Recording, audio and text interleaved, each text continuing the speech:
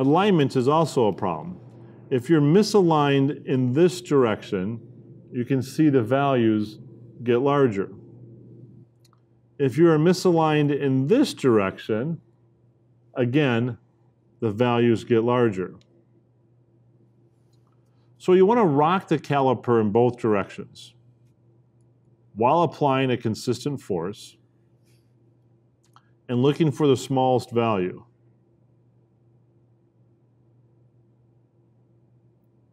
It looks like the error at this test point is minus 5 tenths. So I'll write that down.